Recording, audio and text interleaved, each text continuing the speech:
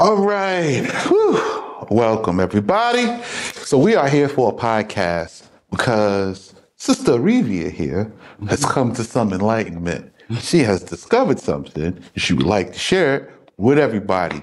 So, oh, and I'd like to introduce this my wife, Kafaya. So she's here, and Revia asked her to be here too. So we're going to be discussing what Revia has found. So, what have you found? Okay. Um, on yesterday, and at a time of recording, I committed an error. And um, we will be discussing about this error in which I have committed. Now, as many of you have been watching us, uh, I am a student here at the House of Instruction in the beautiful city of Amman, Jordan. And um, during my time of study, uh, this error was pointed out to me.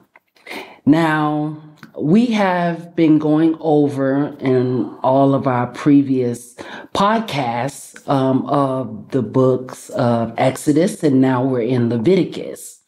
And it speaks about in Leviticus chapter 4 about what is required when you commit a sin inadvertently. and um, what what you must do when you do commit these sins. And one of the biggest things that I am learning here at the House of Instruction is using the law to be your mirror. Because before you can judge anyone else, uh, you yourself have to judge yourself. Now, the error in which I have committed is related to the scripture uh, from the manuscript of Prophet Isaiah, chapter 3, verse starting at verse 14. All right, so let's read it. And for those of you who are um, watching the video, um, you'll be able to read with us. You'll see the words on the screen. So uh, just read it and. Um... I don't have, it's not in this book. I don't have my phone with me. Um, Hold on, no yeah. problem. Yes, if you can pull it up, please. All right. Oh, we'll be right back. Yes. Uh, okay, we back. All right, so we've got the uh, the manuscript of Isaiah up. Now you'll notice that I always say manuscript because the difference between what we are reading, what we are reading is fixed. It, it, it, has not been changed. It was actually preserved. So there's always a preservation. Unlike scriptures, which people have tailored. Mm. Right? So you have the homosexual scriptures. They take the Bible and they tailor it and make it homosexual. You got the women's versions and they needed to be loosed. So you have the loosed women's version. Then you have the NIV, the CEB, the LBTG, and all the other alphabet versions, right? But a Targum is not like those. It is directly translated. And so this uh, manuscript that we're reading, right, we're going to see what Isaiah says, and it is vastly different. When I say vast, I mean it's very small it is different in that it's given details. It explains itself so that the reader gains the information and can change or conform themselves to the instruction. So we're going to take a look at the manuscript of Isaiah. And this is not what we normally do. We stick to the law and read in the law because the law is the teacher to really get us into um, the law is the teacher to get us into the the changes that the, the big changes that need to be made corporately. But this one was so important because we'll get to it later in the law. Like it does pop up. We're in the book of Leviticus. We will get to this point where it does mention what she's about to read. So we're going to read this and then we're going to take um, notes. So have a pen and paper ready because we're going to be looking at some very interesting details. Yes, and you know, this is especially geared to the daughters of Zion from younger to older. You know, this is a requirement for all of us. So, you know, share with your sisters, your friends, um, your mothers, your aunties, uh, so they too will have an understanding of what is required of us as daughters of Zion. Starting at verse 14 of chapter 3, Isaiah. Yah will bring into judgment the elders and commanders of his people. Okay, so first things first, in context, the Most High is saying for those who are in charge, in governings over his people. Now, if you've read the law, the Most High has a problem with his people not being governed by his law, right? So the law mandates who's supposed to be in charge over his people. And if they are not in charge, and if they are holding uh, holy and consecrated items hostage, that the Most High's wrath will not be poured out. So now we've read this law to the nations, and now this issue comes up. And he says he's bringing the governments that are ruling over his peoples wherever they are in the diaspora, in the scatterings. All right? You have robbed my people. The spoil of the poor is in your houses. What do you mean by impoverishing my people? And you're making the needy turn this way and that in their legal suit. So they're making people turn to illegal, unlawful options in their legal suits, right? So, uh, homosexual marriages, this is an abomination to us as the people by the law of our God. But if you speak out about it, you turn against them in legal suits by our proclamation of saying that we are the people of the book and we do recognize our identity and that we should be governed by the law of our book. Because of the Jews you turn against us in legal suits. So now the most high is asking what gives you the right to do that okay so we're going to continue says Yah Allah of hosts. And Yah said, Because the daughters of Zion are haughty. Okay, so now that the Most High has expressed his anger, that you've robbed us and taken all of our sacred things and gained all the wealth and kept us impoverished. You haven't allowed us to get a foothold or even the opportunity to come back as a people, right? You've even given our nation to other peoples who are not of this land, right? He's saying, now that the last straw is you are causing the daughters of Zion to be haughty, right? Now, some of you may think you know what haughty is, but let's see what the Most High's definition of haughty is? The word haughty means arrogantly, superior, and disdainful. And yes, ladies, we are guilty of it, daughters of Zion. We have become this, especially against our men of Israel. Okay, so haughtiness is to feel like you are superior, you are the prize. Now that you have this, you've become haughty. Now there's a sign for this. Let's see what the manuscript says. They walk with uplifted neck. So, you know, I don't know how that works, but they have an uplifted neck. So, you know, if you touch your neck, right, my neck is out, right? we have to see what the Most High is talking about. We're going to gain some more context. So you, they're walking around and they have an uplifted neck. Okay, we see what else he's talking about to see if we can put together what the Most High's definition of haughty is. Okay, and walk, oogling with their eyes. So now they're oogling with their eyes. So they have their uplifted necks and they're oogling, they're ogling with their eyes. Okay, before we continue, I want to know what else the manuscript have they say. So we have the neck, we have the eyes, and what else? And with ring locks of hair. And they have decorated hair. How is this connected to being haughty? These the three things. Mm-hmm. So what else are they doing? And inciting with their feet. Inciting with their feet.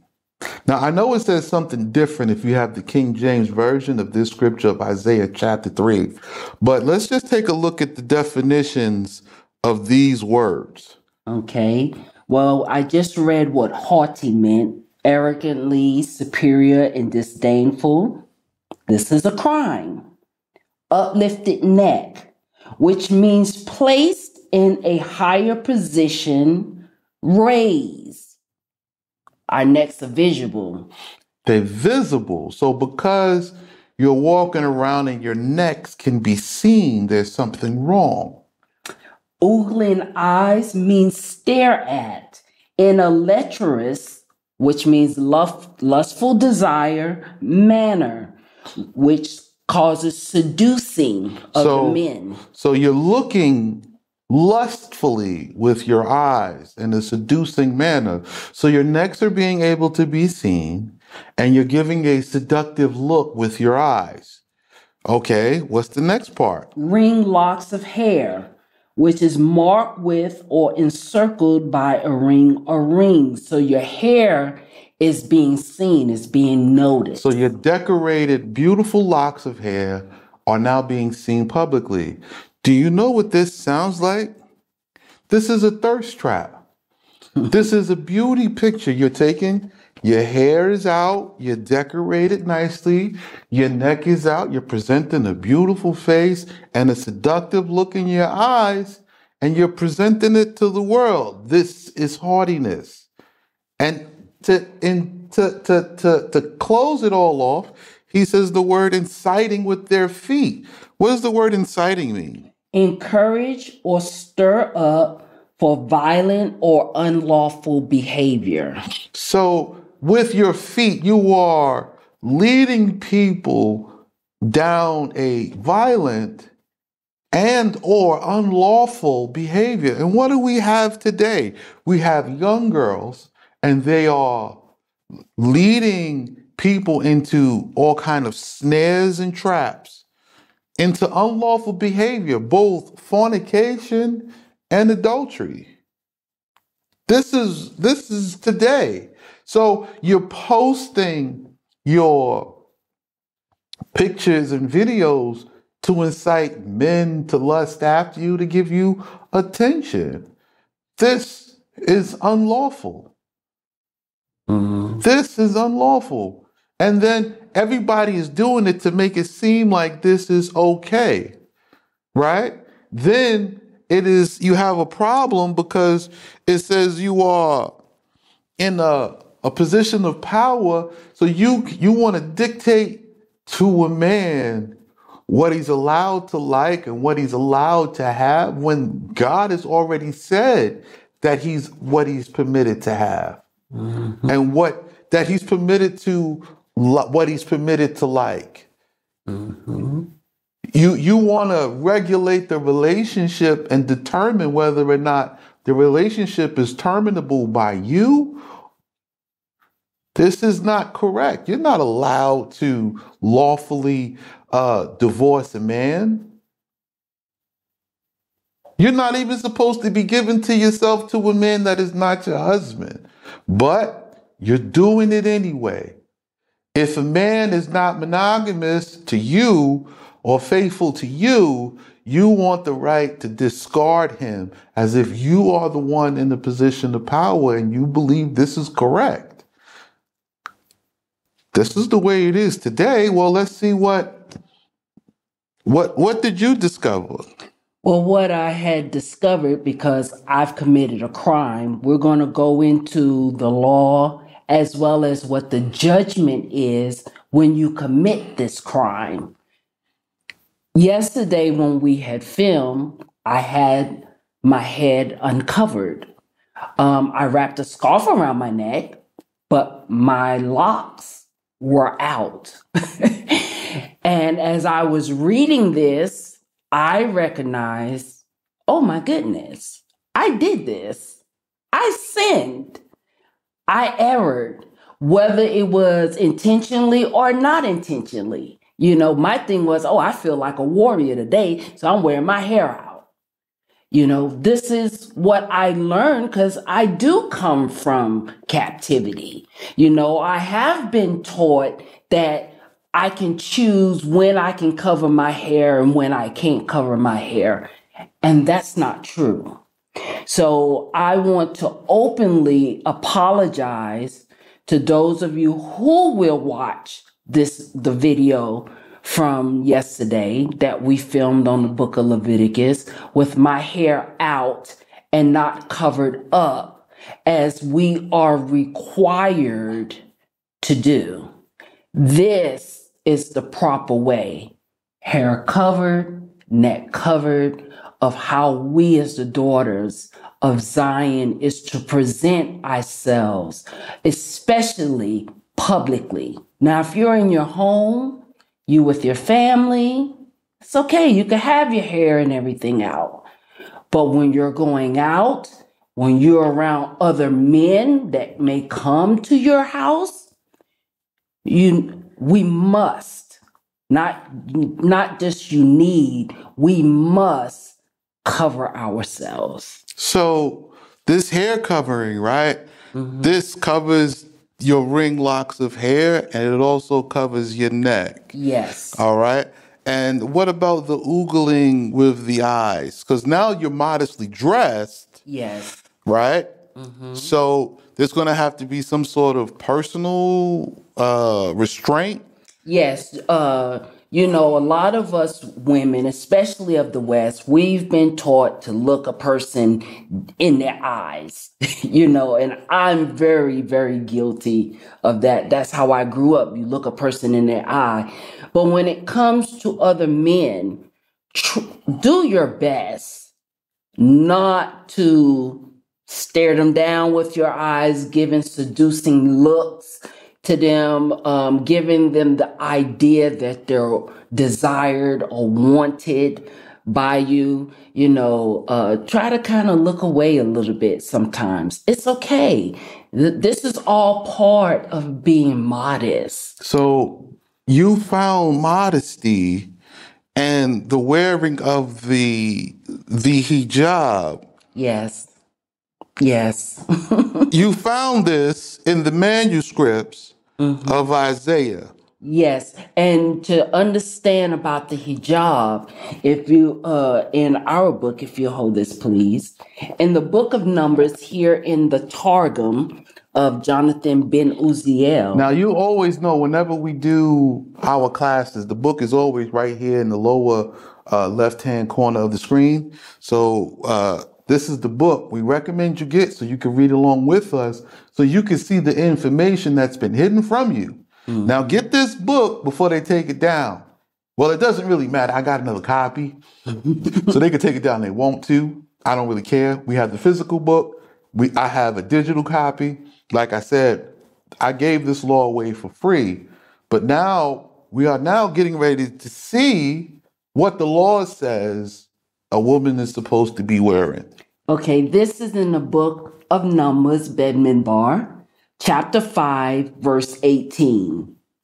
And the priest shall cause the woman to stand before Yahweh and bind a cord over her loins and upon her breasts, because she should have bound her loins with a girdle, and he shall uncover the woman's head because she had tied a fillet upon her hair.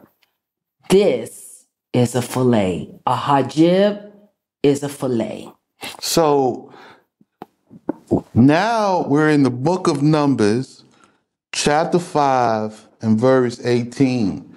And what you are reading here is the bitter water trial, right? And what this is is is when a man has become jealous of his wife, but he has no proof of any wrongdoings. There is a special ceremony that must be performed to see whether or not this woman has committed any crime in secret. And it says that this woman, when she comes, she should have worn a hijab, although it's called a fillet. But if you look up fillet in the English language, you will see the covering of what a nun wears, Mm-hmm. Right? Which covers the neck and the hair. It is a princess's or a queen's covering. Now you understand when you say you're a daughter of Zion, you are of royal blood. You're supposed to wear the covering of a queen or a princess, which is the hijab. Being from a Middle Eastern family, the father of our culture is Abraham, and this is what he instilled in his daughters. Yes. So we found the hijab in the book of the law, and the Most High is angry with the daughters of Zion for not being compliant with this custom and tradition. They are walking around Mm. with their hair out, with their necks out, and they're always looking for and looking at the fine men, whichever so man they desire, or whomever they desire. So everything is become about lust. Hmm. It's always about sex. Sex sells. Sex over it all. So let's see what the Most High says about this now, because we understand what he meant. Hmm Now we read what the crime was. We read the law uh, that is about the crime. Now let's look at the judgment for this crime. Verse 17. So Yah will enslave the nobles of the daughters of Zion, and Yah will take away their glory. So he's going to enslave the government administrations of the daughters of Zion. So since the daughters of Zion are not under the control of the sons of Israel, and they're not under the control of the law of their God, now he's going to enslave you, the government, for not administrating over the daughters of Zion this law. Since you will not accept the returning of them to their laws and their cultures. So now he's going to enslave you. I know they think this is a joke. Mm. I know they don't believe nothing I'm saying, but we're going to continue anyway. Yes. In that time, yeah, Yah will take away the finery of the sandals and the headbands, and the hairnets, the pendants, and the bracelets, and the veils, the headdresses, and the anklets, and the combs, and the earrings, and the necklaces, the rings, and the nose rings, the tunics, and the mantles, and the shawls, and the breast ornaments, and the mirrors, and the linen garments, and the turbans, and the cloaks. And it shall come to pass that the place where they use perfumes will melt away, and the place where they bound girdles will be scars of a blow.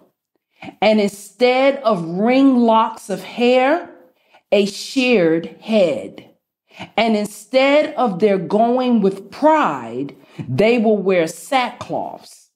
This retribution shall be exacted from them, for they have gone astray in their beauty. Okay, so now you've heard the punishment.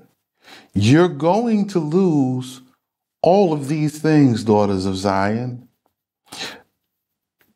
So everything that you think is for beauty now will be taken from you and it will be replaced with mourning. That's what the sackcloth is for. Death is coming. So you can either change, right?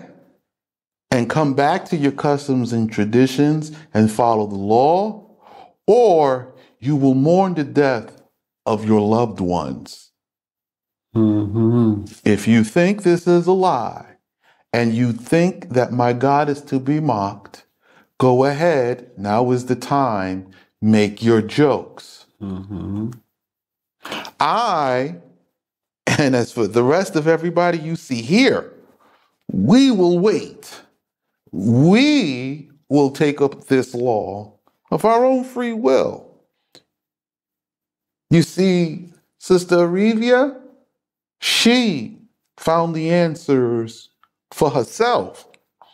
And in finding the answers for herself, she came to this conclusion. We'll be right back with the conclusion to this video. All right, we're back.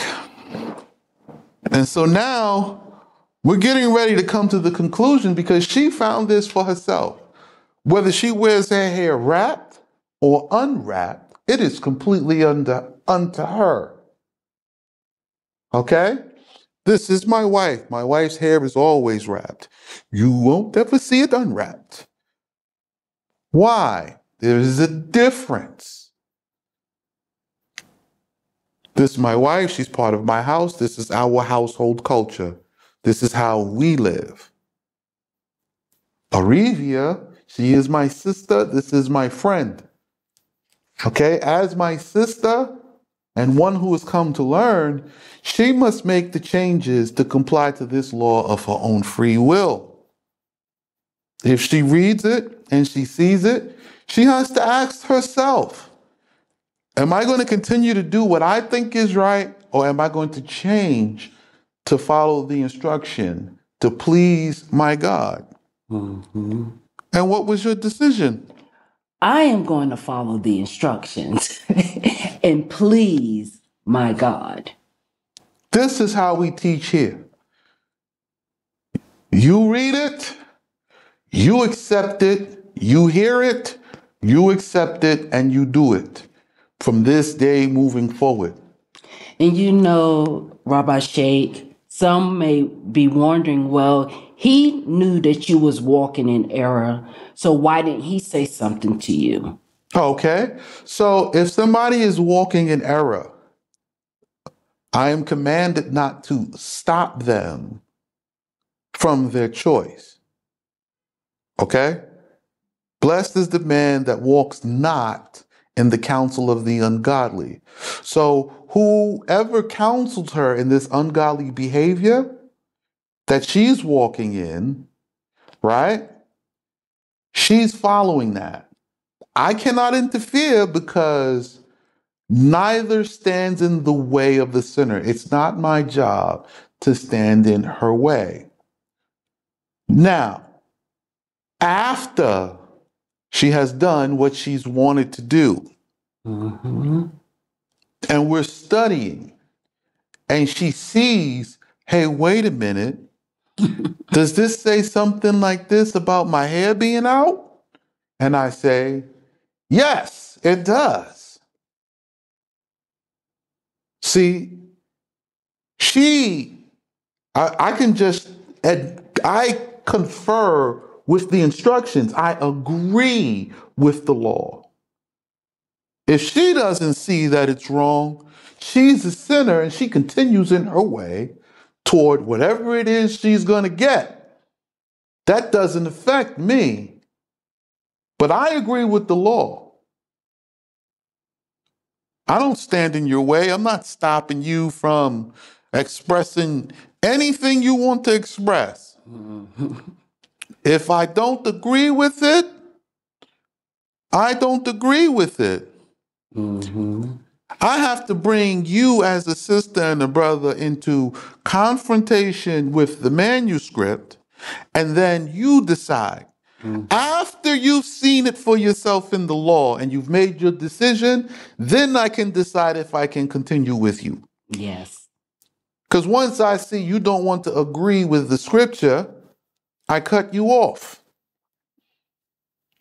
It's simple as that. The scripture says this, this is clear. We're going to do it this way, and we continue. Mm-hmm. If you say, Well, I don't believe in this, I'm done. Mm-hmm. Because this never asks for your, your belief. This is the law, these are the rules. Belief has nothing to do with it. Correct. You see? Any faith that is asking for your belief in any way is false. I don't have to believe in the rules. If you don't believe in the red light, run it.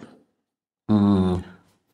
When you get into a car accident, you will suffer all the punishments for the crime you've committed. It doesn't require your belief.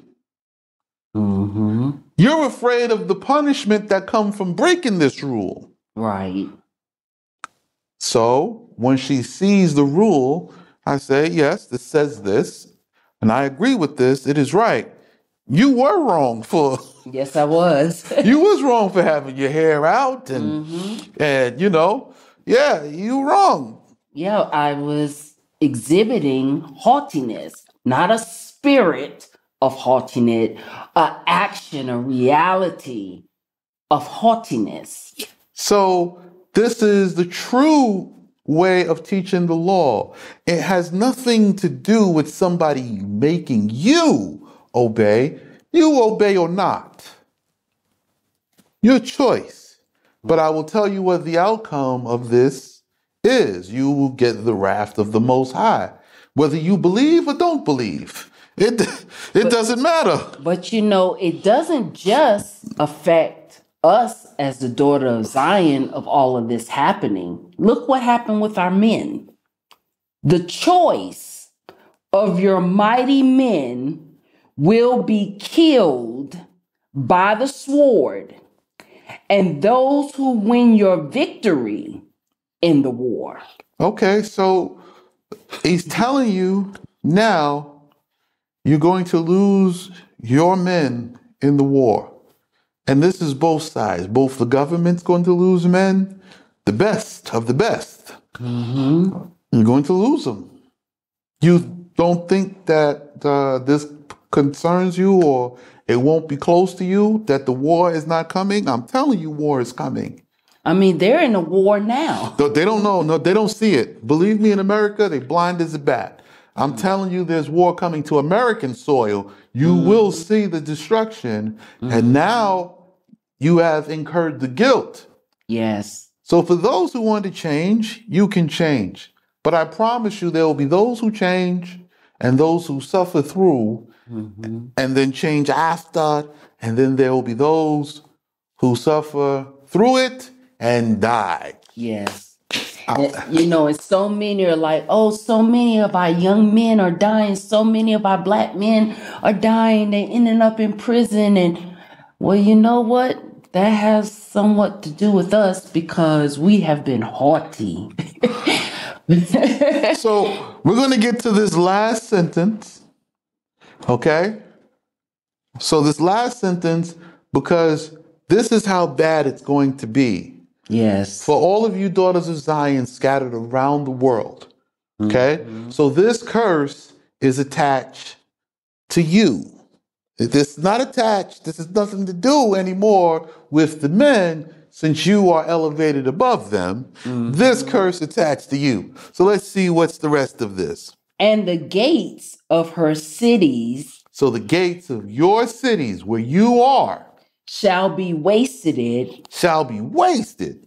And come to an end. And come to an end. And her land will be evacuated and desolate. And your lands, your hometowns, the places where you live will be evacuated and desolate.